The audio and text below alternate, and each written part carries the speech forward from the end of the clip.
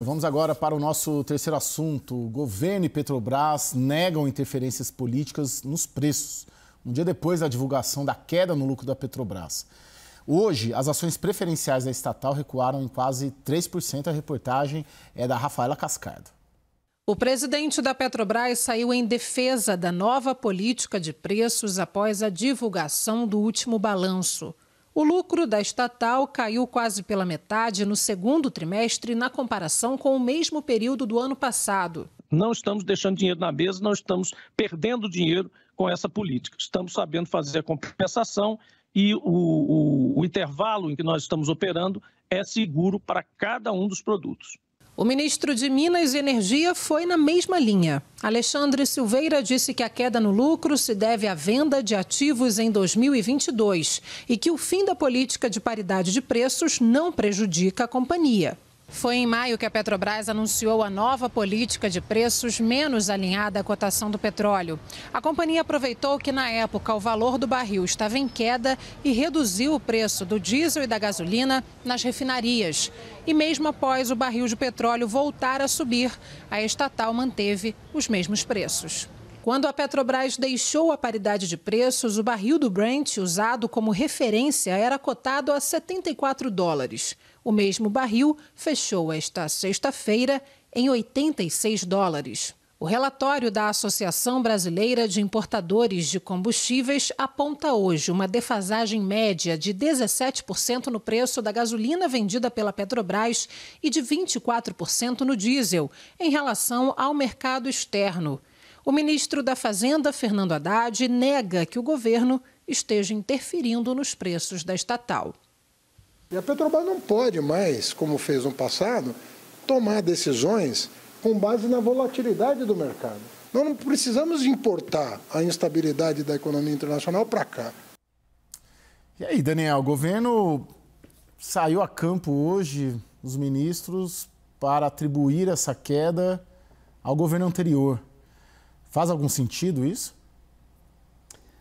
Problema, Caio, é que o fim da PPI, a Política de Paridade Internacional, que alinha os preços internos do petróleo praticados pela Petrobras ao é, que existe no exterior, preço dos petróleos internacionais, mais taxa de câmbio, terminou e é, o que substitui é, PPI não está claro para ninguém.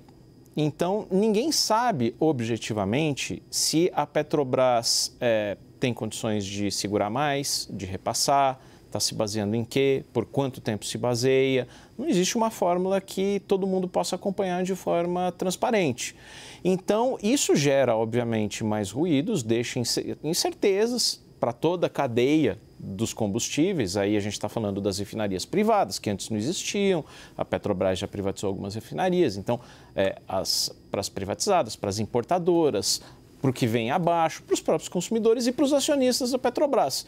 Por isso, o ruído é, pode não ser ruim para a Petrobras, só que ninguém sabe de forma clara e transparente. E aí, Renata, não quero te colocar de novo numa situação de prever o futuro, mas até quando aí... mas você vai colocar, né? É, né? Vou, vou, não tem como. Ô, Renata, é... qual a sua previsão, assim, se...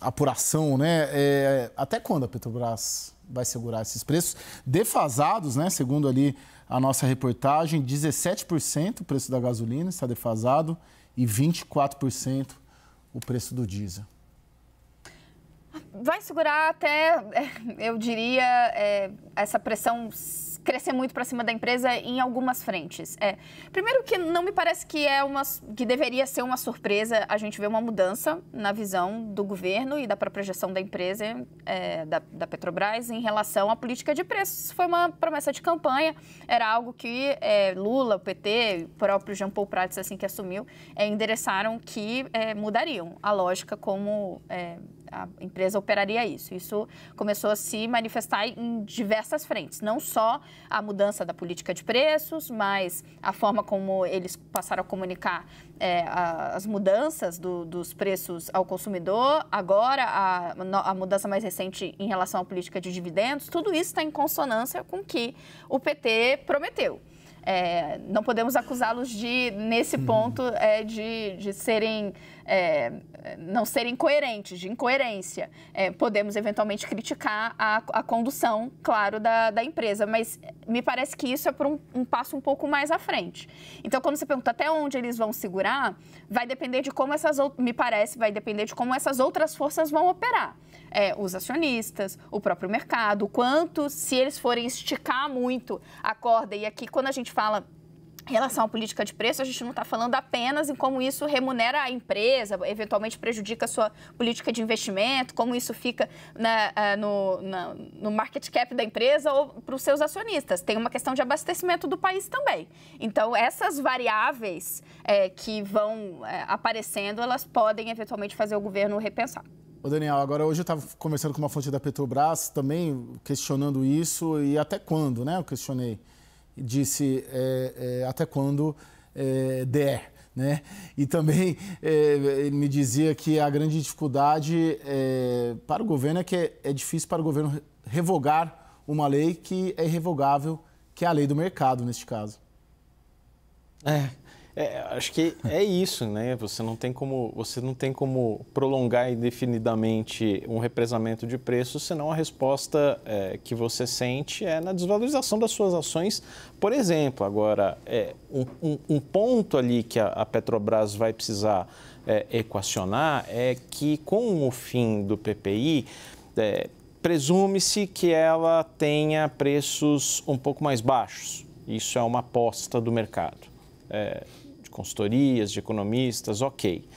Como isso é, vai dialogar com um plano de que a Petrobras retome o seu papel de grande investidora, não só na exploração e não só no pré-sal, mas que tem um papel mais amplo ali para é, retomar investimento em fertilizantes, em gasodutos, é, em, em, em, o papel que o ministro de Minas e Energia deseja que ela tenha maior em termos de exploração de gás e oferta de gás, em modernização e eventualmente construção de alguma refinaria nova.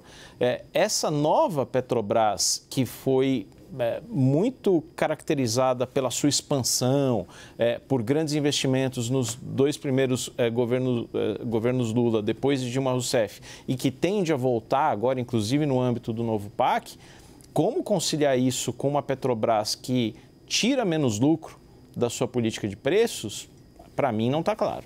Agora, é, parece que a gestão, né, Renata, da Petrobras, ela ocorre, assim como no governo passado, dentro do Palácio do Planalto, não? Nesse caso, sim, muito. É, mas, de novo, também não acho que aqui é uma grande surpresa. É, me parece que, inclusive, é, essas esses últimos movimentos é, da Petrobras, na, é, a, forma como eles colocaram a comunicação da empresa para é, mudar a política de dividendos, os, os anúncios do, do, dos novos preços, tudo isso é, tem que ser lido né, num, num momento em que Jean Paul Prats está em conflito é, com é, um ministro de Minas e Energia, é, sua liderança na empresa está é, sendo é, colocada em xeque, é, em torno de Lula diz que esse ambiente tem é pesado, ou seja, em resumo, Jean Paul Prats tem que entregar serviço. Ele está entregando na linha do que Lula e o PT gostariam até onde é, isso pode continuar, né? Até onde é, essa visão é, da, da, da, Petrobras, do PT, é, vai reinar ou é, vai ser necessário algum tipo de acomodação diante desses outros fatores. Daniel lembrava muito bem, é, e você, né, sobre a questão do mercado, mas tem a questão do abastecimento interno, da, dos investimentos futuros. Tudo isso está à luz né, de um trauma muito grande para o país, mas para os investidores especialmente, do que foi a gestão da Petrobras no governo Dilma. Ô Daniel, Esses eu acho... fantasmas, né, me parece que voltam, cobram preço. Me desculpe, Renato, eu achei Imagina. que tivesse concluído. É, Daniel, para arrematar, é, eu achei interessante que você coloca o papel da Petrobras no PAC. E você tem feito reportagens é, e trazido ali informações sobre esse PAC que será lançado ainda neste mês aí em Brasília. É, o governo aposta muito na Petrobras como é, é um, uma peça-chave dentro desse novo PAC? Ainda não está claro, Caio, se os investimentos da Petrobras vão, vão ser incluídos é, no PAC, no novo PAC, que está com previsão de lançamento para o dia 11, sexta-feira que vem, no, no Rio de Janeiro. Agora, é curioso que nas visitas é, que o presidente da, da estatal, Jean Paul Prats, tem feito aos estados, por exemplo, ele passou recentemente por Mato Grosso do Sul e acenou para as lideranças políticas locais que vai retomar a construção da unidade de fertilizantes é, ali na, na, na, na, terra da ex-prefeita é, ex e hoje ministra é, Simone Tebet, é, ali na região de Dourados. Então, é, isso, esse é só um dos tantos exemplos de investimentos que, que, que, que, que a Petrobras pode retomar e que dentro ou fora do, do, do, PAC ela vai ter que ter capital. Só vou lembrar uma frase que o Jean Paul Prats é, já, já é, na reta final da campanha eleitoral é, ainda exercendo o mandato de senador, defendeu uma, uma ideia ali que ecoou um pouco, rendeu manchetes, que era de é, restatizar a Eletrobras e de juntar tudo numa empresa só. Petrobras e Eletrobras, porque, segundo ele, hoje são empresas de energia. Você não pode pensar só em petróleo, não pode pensar só em geração de energia elétrica, tem que pensar em tudo junto. É, aí eu fui bater ali nos assessores mais próximos do Lula para entender o que, que ele pensava. Disse assim, olha, nenhuma ideia, nenhuma chance dessa ideia do Jean Paul Prats prosperar, não porque a gente não queira a restatização da Eletrobras, mas porque o presidente da Petrobras, junto com a Eletrobras, vai mandar muito mais do que eu mesmo mando é. no país. Né? Talvez essa seja a grande preocupação, nessas equações todas aí de Brasília, né? Bom, é, quer falar alguma coisa, Renata? É rematar? Não, eu tô, eu tô dando risada dessa história, eu adorei. Meninos, é, muito obrigado, viu? Daniel Hitner, diretor editorial em Brasília, Renata Agostini, analista de política, economia, analista de tudo. É, muito obrigado, viu, gente? Um excelente final de semana. Fala, Daniel. Cuidado, não façam nada que eu não faria no fim de semana. tá bom. Tchau, gente. Muito obrigado, viu? WW termina aqui. CNN, você por dentro de tudo. Boa noite, um excelente final de semana a todos.